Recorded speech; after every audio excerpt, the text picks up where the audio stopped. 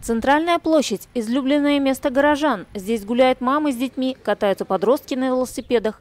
Раньше улица Ленина была сквозной, и по ней можно было проезжать. Но потом ее стали закрывать на время проведения праздничных мероприятий. И уже в начале 2000 года проезжую часть полностью перекрыли для движения автотранспорта. Лангепасцы знают историю своего города, а вот приезжим эти факты неизвестны. Факты фактами, но знаки-то существуют. 23 июня, средь белого дня, водитель автомашины Subaru черного цвета выехал на центральную площадь города. Патрульная служба ДПС, преследовавшая автомобиль, остановила его. Им оказался молодой человек из Сургута. Видеокамера собственной автомашины стала свидетелем разговора с инспекторами. От медицинского освидетельствования водитель отказался, но инспекторы подтверждают, что молодой человек находился в неадекватном состоянии. Вероятнее всего, он был в наркотическом опьянении.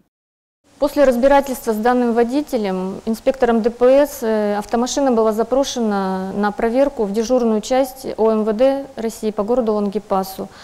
И выяснилось, что данный автомобиль находится в розыске по городу Сургуту и объявлен в угон.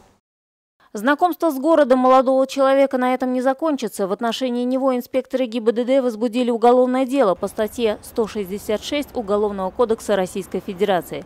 И дело об угоне пока находится в стадии рассмотрения. Однако необходимо отметить, что число таких горе-водителей, подвергающих нашу с вами жизнь опасности, не становится меньше.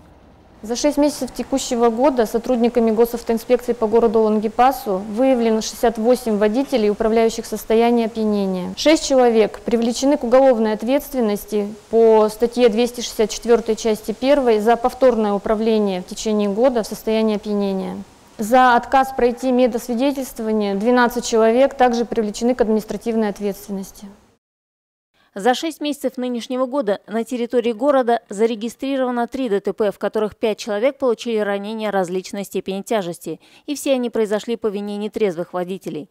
Инспекторы ГИБДД напоминают, севшие за руль в состоянии алкогольного или наркотического опьянения становятся потенциальными преступниками, потому что угрожают жизни людей.